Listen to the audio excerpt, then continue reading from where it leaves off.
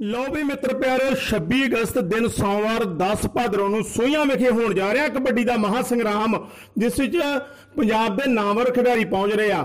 ਜਿਸ ਵਿੱਚ ਮਹਾਂਵੀਰ ਅਠਵਾਲ, ਨਿਰਮਲ ਲੋਪੋਕੇ, ਗੁਰਲਾਲ ਸੋਲ, ਜੂਲੀ ਬਲਪੁਰੀਆ, ਹਰਮਨ ਜਲਾਲਪੁਰੀਆ, ਮੰਨਾ ਲਾਲਪੁਰੀਆ, ਜੱਸੇ ਤੇ ਚੱਕੀ ਦੀ ਜੋੜੀ ਵੀ ਪਹੁੰਚ ਰਹੀ ਆ। ਸੋ ਸਾਰਿਆਂ ਵੀਰਾਂ ਨੂੰ ਬੇਨਤੀ ਆ ਵੀ ਹੁਮ ਹਮਾ ਕੇ 26 ਅਗਸਤ ਦਿਨ ਸੋਮਵਾਰ 10 ਭਾਦਰੋਂ ਨੂੰ ਪਿੰਡ ਸੋਈਆਂ ਕਲਾਂ ਨੇੜੇ ਮਜੀਠਾ ਵਿਖੇ ਪਹੁੰਚਣ ਦੀ ਕਿਰਪਾਲਤਾ ਕਰੋ ਜੀ।